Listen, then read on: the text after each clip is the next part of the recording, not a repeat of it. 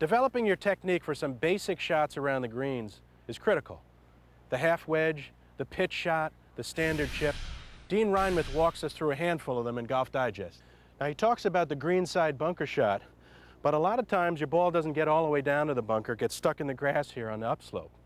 So we asked Dean, what do you do from here? And he said the key is the placement of your right foot relative to the ball. Now if your right foot is too far up the bank like this, you're going to make a steep swing and just stick the club into the ground. If your right foot is too far down the bank, it's very hard to shift your weight up the hill, so you're going to tend to hit behind it. So you don't want to set yourself up that you have to shift up the hill because it's very hard to do that. So the swing is really just a simple rotation around your right leg, just like that. That's really what you want to do. Okay, so how do I hit this shot? Basically, take a few practice swings.